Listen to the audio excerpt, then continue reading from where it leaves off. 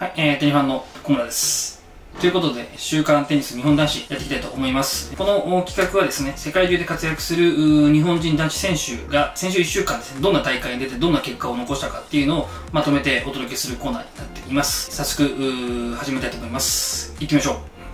テニファン。はい、というわけで、えっ、ー、と、先週から今週にかけてなんですけど、えっとね、今どういう時期かっていうと、まあ、ATP ツアーの方は、まあ、ハードコートシーズンが終わり、これからフレンチオープンに向けてのクレーコートシーズンに入っていくっていうところでして、1月頭からまあ3ヶ月間にわたって続いたまあハードコートシーズンをですね、戦い終えた選手は、まあ日本に帰ってきて、えー、まあ、つかの間の休息を取る選手もいればですね、えー、ダニエル選手のように、えー、もうクレーコートシーズンに突入している選手もま、いるという状況で、はい。で、そんな中、先週のまあ主だった内容としてはですね、ダニエル太郎選手が、えー、モナコのモンテカルロで行われている ATP マスターズに出場していまして、えー、予選の2回戦進出と、2回戦で残念ながら負けてしまったということなんですけれども、これまでずっとですね、まあ、ツアーでずっと予選を勝ち上がって本戦でも活躍していたダニエル選手だったんですけれども、ちょっとね、あのー、ここの大会については残念ながら予選敗退ということで、また次に期待したいかなと思っています。あとはですね、えー、まあ、チャレンジャーや、まあ、あの、ITF ワールドツアーを中心に回ってる選手がほとんどなんですけれども、えー、今日は、えー、その中で、えー、ピックアップしたいのは、トルコのアンタリア1万5000ドル、川上林平選手が、えーベスト4に進出しました。で、この中でもですね、2回戦でまたあの日本人同士の対決がありまして、えー、望月祐希選手と、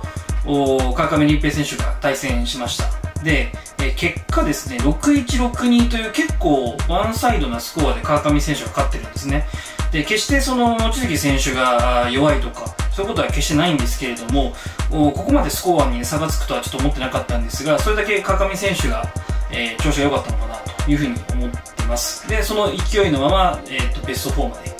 えー、進出したということで、川上選手はこんな多分日本に帰ってくるのかな。あのツイッター見たら今から帰りますっていうふうに彼つぶやいてたので、えー、日本に向かって出発している頃かなと思いますけれども、おまあ、このトルコ、アンタリア、クレーコートですね、でのベスト4というのは自信になったんじゃないかなと思います。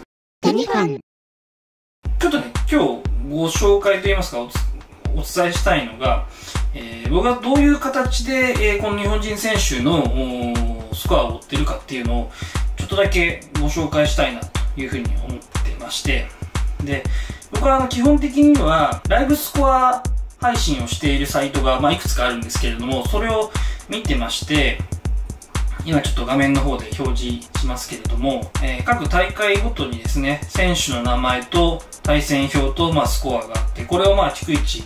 えー、日時でチェックして見てるんですけれども、今、名前の左側に国旗が出ているので、まあ、これで、えー、日本人選手の、まあ、日の丸がついているところをピックアップして見てるという感じですね。で、ここのサイトにはもちろん女性の選手の結果も出てるんですけど、僕が見てるのは、まあ、基本男子の選手を中心に見てるという感じで、まあ、チャレンジャーももちろんありますし、ITF ツアーのスコアも網羅されていると。ただ残念なところで、ITF ツアーの予選はですね、ここにはちょっと出てこないんですね。まあ、チャレンジャーは予選は出てますけれども、なので ITF ツアーの本戦に出た選手以上ですね。であればここで補足ができて、で、この中で、例えばチャレンジャーであれば、チャレンジャー TV っていうのがあってでそこでオンラインで見たりとかあるいは ATP の250以上であれば僕の場合は、まあ、ワウワウに入ってるのでワウワウで見たりとかあと、まあ、テニス TV っていうのもあるんですけどちょっと僕自身はテニス TV に入ってないのでそこは見れないんですが、まあ、どっかでね加入しようかなとも思ってはいるんですけれどもただ最近ちょっとあまり忙しくてその試合を動画で見るっていう時間もないのであれなんですがでここで見たものをどういうふうにしてるかっていうと全部 Excel に落とします。はい。で Excel にこういう感じで落としていてちょっとこれかなり大きいあれなんですけど左側に選手の名前があって錦織選手西岡選手ダニエル選手ちょっとちっちゃいかな。拡大してで杉田選手。だあとま名前が左側にこうありましてで右側に各試合のスコアを1試合ずつ全部ここに転記をするという手作業をやっています。でこれを見るとですね全体をこう俯瞰するのに縮小して表示してですね見るとですねまあどんな選手がこうずっと戦い続けてるかとか誰がどこで、えー、海外に行って海外に行かずに日本にいるのかっていうのもまあ分かるんですけど見れば西岡選手はもうずっとこの3ヶ月間海外に行ってずっぱりダニエル選手は一時多分この空白のところで日本に帰ってきてたのかなと思ったりとか。でね、まあ、こういうのでまああの頑張ってるなっていうのが分かるんですけどもう一個分かることがあって例えば、えー、まあこのね上の選手上位の選手が ATP ツアーを中心にたまにチャレンジャーに落ちてくるっていうのはもちろんあるんですけどそれ以外の選手を見てると例えばね僕がちょっと気になったのは野口里央選手っていう選手がいます。野口里央選手っていうのは今ミーリアスタ生命と契約している選手なんですけどランキングで言うと490位ぐらいなんですね。490位。なんですけど出てる大会は全部チャレンジャーなんです、はい、チャレンジャーあと中川直樹選手も基本チャレンジャーばっかり挑戦しているとであとね最近で言うと島袋翔選手もチャレンジャーを中心に自分の活躍のステージを、まあ、そこに求めていると。島袋翔選手も1月は2万5000ドルの ITF ツアーでしたけども後半は、えー、チャレンジャー2万5000ドルチャレンジャーと、まあ、徐々にチャレンジャーの方にシフトしようとしているのが見えるかなと。でえー、っとですね。あとは、えー、っと望月慎太郎選手ですね。若手の選手です。もチャレンジャーだったり、まあ、たまに1万5000ドル出てますけど、えー、チャレンジャー、えー、マスターズの予選マイアミね出ました。その後はチャレンジャーチャレンジャーという感じで、えー、ランキングがまだ400位とか500位近い選手でも将来を見据えて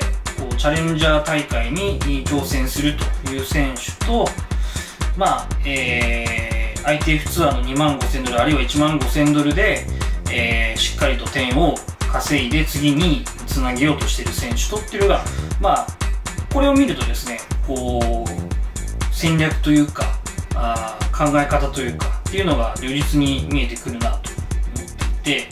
すごく面白いです。で、えー、最近になってようやく海外の試合に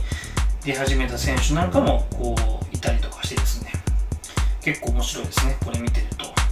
てな感じで、えー、この状況をギュッとコンパクトにしたものをですねこういう形で皆さんにお届けしているという形なんですけれども、まあ、これはね年間通して日本人選手を追っかけていってどういう成長したのかとかステージが上がったのか下がったのか